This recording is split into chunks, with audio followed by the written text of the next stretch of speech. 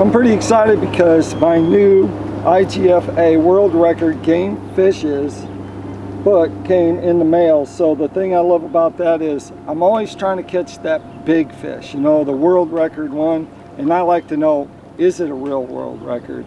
And so you can find out if you get the book, but you can get the book by itself or you can become a member and get the book and then they have a discount for that. But inside this book, they have all the world record uh, classes for the fish, freshwater and salt. So either one.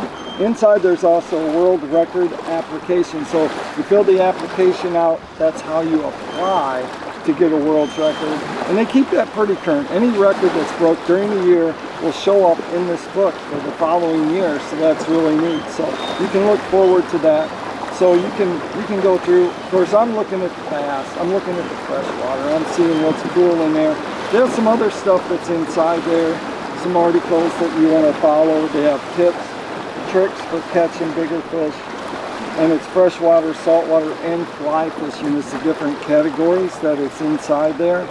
So we're going to look and see. Oh yeah, there's a new president too. There's lots of stuff that's inside here. So if you want, you can check them out. IGFA, that's the International Game Fish Association. Check it out check out their website, see what they have to offer, and also make sure you stop by and get their book because it's cool to have. And if you're going to break a world record and you want to be in the book, you have to be a member first. So check that out. Good stuff happening.